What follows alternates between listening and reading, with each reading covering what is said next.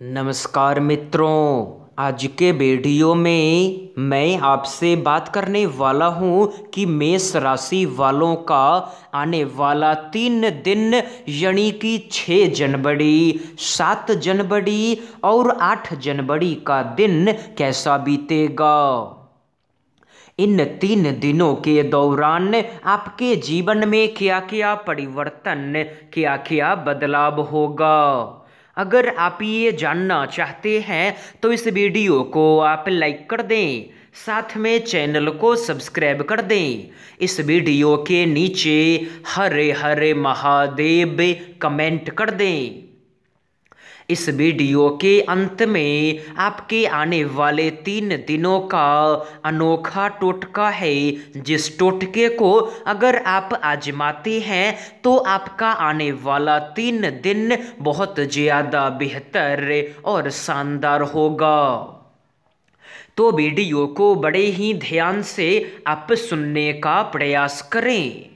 मित्रों, अगर आप मुझे इंस्टाग्राम पे फॉलो करना चाहते हैं तो मेरे इंस्टाग्राम का लिंक इस वीडियो के डिस्क्रिप्शन बॉक्स में है। तो आप लिंक पर क्लिक करें और इंस्टाग्राम पे आप मुझे फॉलो कर लें। तो अब हम आगे बढ़ते हैं। मित्रों, आने वाले तीन दिनों के दौरान अगर आपके स्वास्थ्य की बात करें तो स्वास्थ्य के दृष्टिकोण से आपका समय बहुत ज़्यादा बेहतर और शानदार होगा। मित्रों, अगर आप लंबे समय से थकान और तनाव महसूस कर रहे थे तो आने वाले तीन दिनों के दौरान आपको थकान और तनाव से आराम मिलेगा।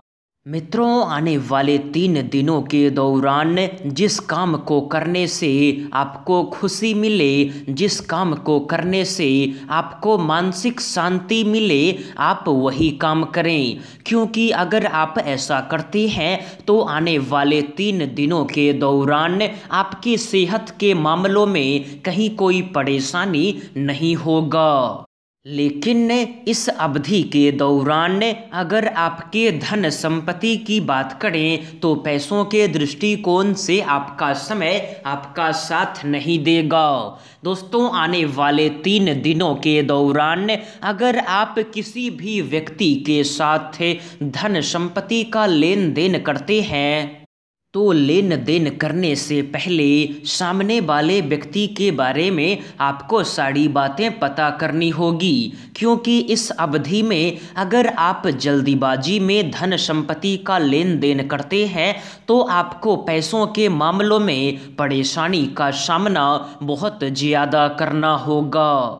मित्रों, आने वाले तीन दिनों के दौरान अगर आपके दाम्पत्य जीवन की बात करें तो दाम्पत्य जीवन के दृष्टिकोण से आपका समय आपका साथ नहीं देगा।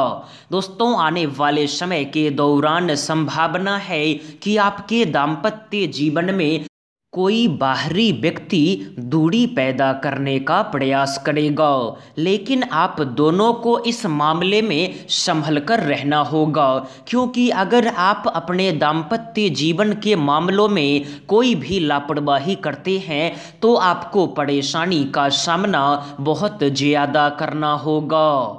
तो यही था आपके आने वाले तीन दिनों का राशि फल तो इसके बाद बात करते हैं कि आने वाले तीन दिनों के दौरान किस टोटके को आजमाने के बाद आपका समय बेहतर और शानदार होगा।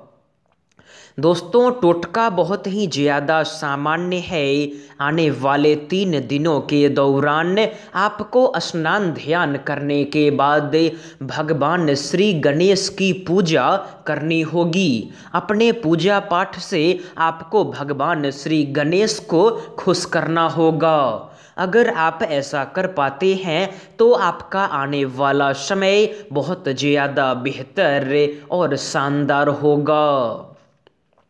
तो इस वीडियो को आप लाइक कर दें, साथ में चैनल को सब्सक्राइब कर दें। इस वीडियो को आप हर जगह शेयर कर दें। धन्यवाद।